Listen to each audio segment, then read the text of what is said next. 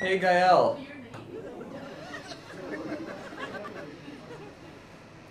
I was wondering.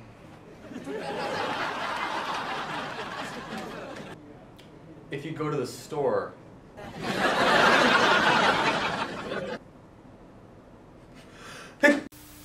Hi, I'm Danny Santiago from Rice News, here with one of the stars from the very controversial show, It's All in the Ham, Vivian Peeves.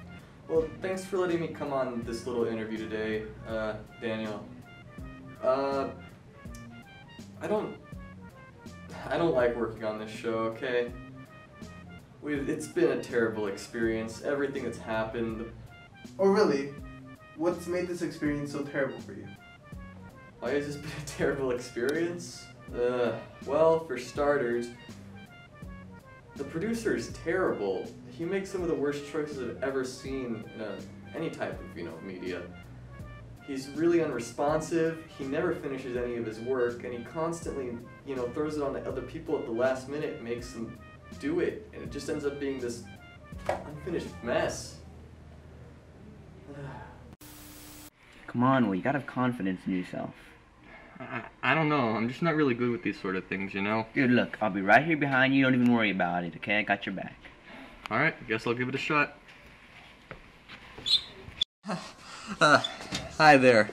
Well, what's up with the, you know, the, uh, the, the weather today, you know? So,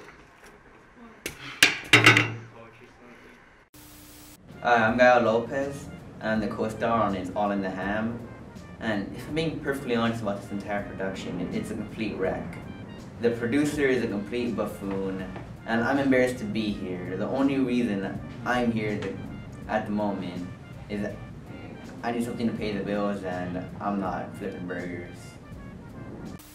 yeah, so you see, work is just so dumb. He, Uh, that's cool and all, but on the other hand, guess who just finessed the Tri Squad of a bunch of Girl Scouts? It's me. I'm here with Grumbo Jumbo, the producer of It's and the Ham. Can you tell me a little bit about how you managed the production?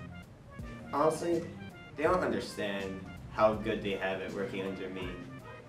Like, it's just, I'm that good. And they just don't really understand the struggles a producer goes through. So what are some of the struggles of being the producer here?